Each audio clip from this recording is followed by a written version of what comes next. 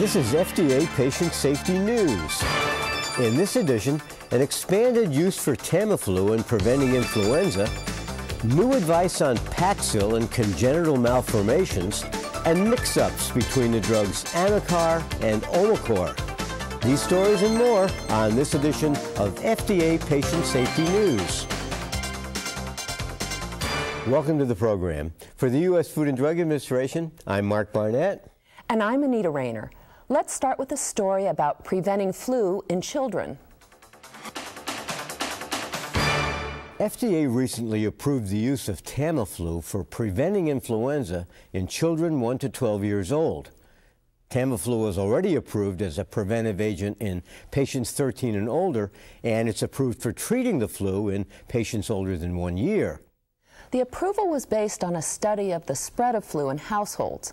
When someone in the household was diagnosed with seasonal flu, other family members received either Tamiflu once a day for 10 days or no Tamiflu at all unless they became ill. 3% of the children receiving Tamiflu prophylactically developed fever and other symptoms confirmed to be flu. That compared with 17% in the group receiving no preventative treatment. The benefit in children is similar to that seen in older individuals. Side effects from Tamiflu taken prophylactically were similar to those in patients taking the drug therapeutically. In rare cases, anaphylaxis and serious skin reactions have occurred, so patients should be instructed to discontinue the drug if they develop an allergic reaction or severe rash. Patients should also understand that Tamiflu is not a substitute for the flu vaccine and that they should continue to receive annual vaccinations according to immunization guidelines. Here's a story about a new way to administer antibody replacement therapy to patients with primary immune deficiency disease. These patients need regular treatment with immune globulin to prevent or fight off potentially life-threatening infections. Until now, immune globulin products have been administered either intravenously or intramuscularly. FDA recently approved a new one that's injected subcutaneously. It's called Vivaglobin and it's made by the German company ZLB Behring. Vivaglobin may be especially beneficial in patients who don't easily tolerate IV administration of IG because of poor venous access or serious side effects. And since it's injected on a weekly basis using an infusion pump, patients can self-administer the product at home. In clinical studies, Vivaglobin was well tolerated. The most common side effects were mild or moderate injection site reactions such as swelling, redness, and itching. The contraindications for Vivaglobin are similar to other immune globulin products. In a recent edition of this program, we told you about a study that suggested an increased risk of congenital malformations in infants born to women taking Paxil or generic paroxetine during the first trimester. Since then, the manufacturer has added new warnings to the labeling for Paxil based on preliminary analyses of two recent unpublished epidemiologic studies. Both studies showed a relatively small increased risk for cardiac defects in infants born to women who received the drug in early pregnancy. And one of the studies also showed an increased risk of congenital malformations overall. In both studies, the most common types of cardiac abnormalities in children of women who took Paxil were atrial and ventricular septal defects with a wide range of severity. Neither of the studies addressed the question of whether the risk might extend to use of the drug later in pregnancy. FDA is recommending that Paxil generally not be started in women who are planning to become pregnant or who are in the first trimester of pregnancy. If a woman is already on Paxil, the physician should alert her about the potential risk to the fetus. The physician should also consider discontinuing the drug in these women, although in individual cases, the benefits of continuing Paxil may outweigh the potential risk to the fetus. If Paxil is discontinued, it should be tapered off and not stopped suddenly. We're going to update this story as more information becomes available. Ortho Clinical Diagnostics has recalled certain lots of the company's Vitros hepatitis B surface antigen confirmatory kit. This kit is used to confirm the presence of the antigen after a positive test with the Vitros hepatitis B surface antigen reagent pack. Because of a problem with a diluting solution, the confirmatory kit may indicate not confirmed for some samples. So we could end up, as I understand it, with a person having being infected with hepatitis B, having a positive test, then having the confirmatory test come back and say not confirmed, and what you'd end up with uh, is a false negative. Right, that could happen, and in this case, that patient might not receive the treatment he needed, and the very real possibility that he might infect somebody else. But in most cases, patients will also have been tested for hepatitis B core IgM antibodies. If that test is positive, the clinician will presume that the patient has had a recent infection with hepatitis B virus, and so the patient will get the treatment. It seems as though it would be particularly worrisome if you got a false negative on a pregnant woman, because obviously that would have an effect on the child. That's right. It could be particularly worrisome because a pregnant woman might only be tested for hepatitis B surface antigen and not the core IgM antibodies.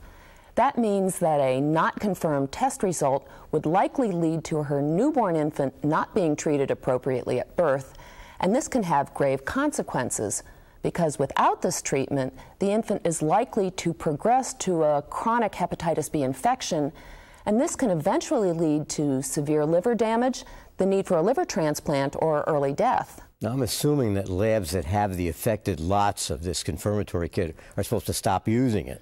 That's right. The company says stop using them and discard any stock that hasn't already been used.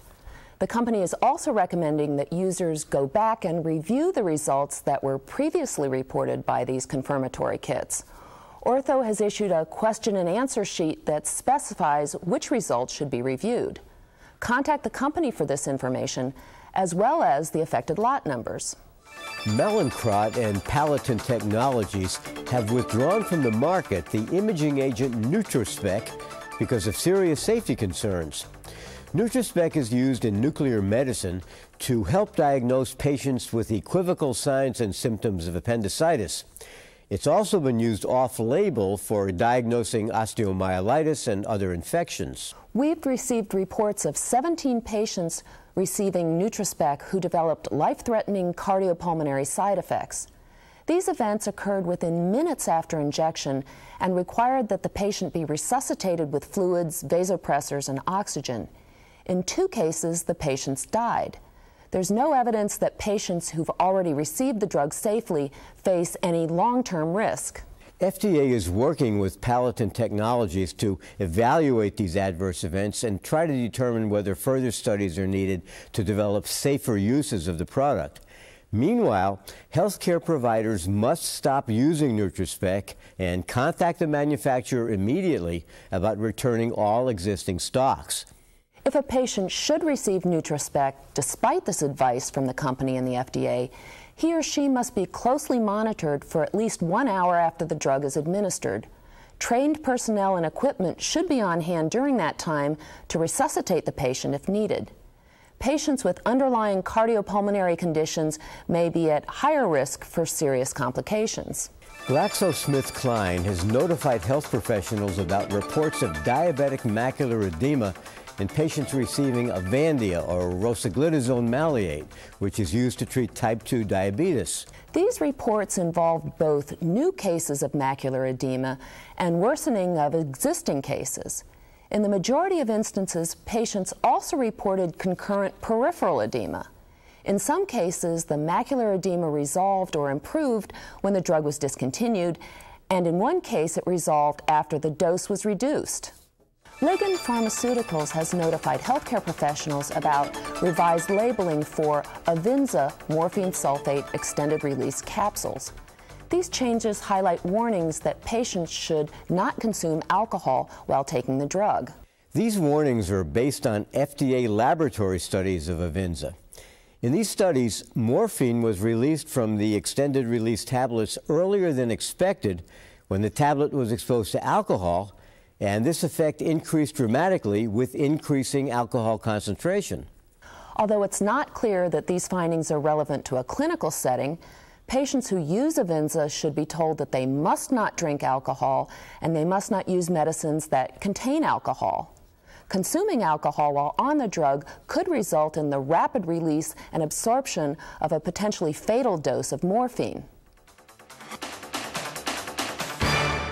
Periodically on this program, we point out mix-ups that occur between drugs with similar names. This time we're talking about two drugs whose names both sound and look alike, Amicar and Omacor.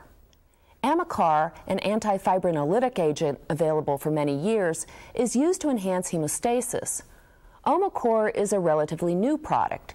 It's a preparation of omega 3 fatty acids that's used along with diet to lower very high triglyceride levels.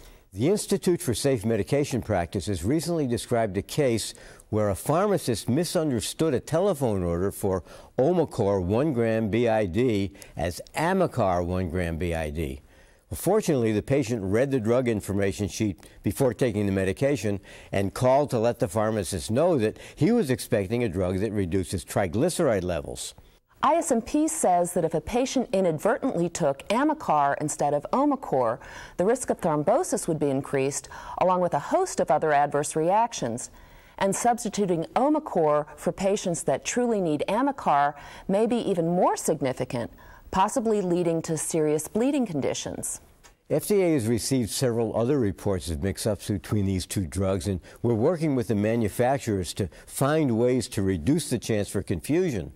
In the meantime, ISMP says to set an alert in the order entry computer system, match the drug's indication to the patient's diagnosis before dispensing either of these drugs, and consider using tall man letters to help distinguish between the two drugs when both are available in the inventory.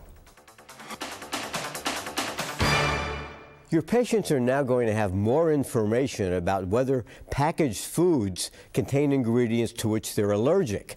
That's because effective January 1st, 2006, FDA is requiring food labels to state clearly whether the product includes ingredients that contain proteins that are derived from one of the eight major food allergens.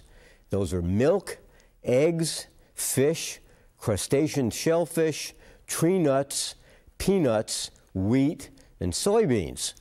Well, food labels are already required to list all the ingredients in the product. Well, that's true, but now any ingredient that contains one of these allergenic proteins has to be clearly identified and in plain English. For example, if a product contains casein, which is a milk protein, the label now has to use the term milk so that a person allergic to milk is going to understand that he or she should avoid this product. Now, that's especially important for children and their caregivers because they have to learn to recognize the presence of substances that they have to avoid. Now, you said the new labeling requirement applies to the eight major food allergens, but people are allergic to other foods. That's right. About 160 foods have been identified as possibly food allergens, but those eight account for about 90 percent of all of the food allergies in the U.S. And the requirements are pretty specific. The label can't simply say fish. It has to state flounder, for example, or cod. And the same holds true for the type of nut the food contains or the type of shellfish. Well, people tend to eat out frequently these days. What about food that's prepared in restaurants? The, the new law doesn't extend to food that's prepared in restaurants. So if you have a food allergy, you're still going to have to ask questions in the restaurant about ingredients. The law also doesn't apply to fresh fruits and vegetables, and it doesn't apply to highly refined oils that are made from one of the eight major food allergens, like highly refined peanut oil or soybean oil, because these oils are not considered to be major food allergens. Well, how soon can we expect to see these improved food labels on the shelves? Any food that's labeled after January 1st, 2006 has to have the new labeling, but the new law does not require that foods already on the shelves be removed or relabeled. And that means that for some period of time, shoppers are going to continue to see foods in the marketplace that don't yet have the new labeling. Well, that's all for this edition of FDA Patient Safety News.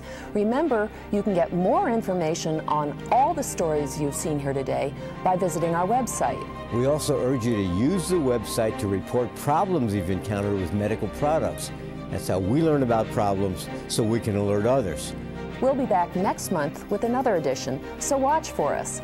Until then, for the U.S. Food and Drug Administration, I'm Anita Rayner. And I'm Mark Barnett. See you next time.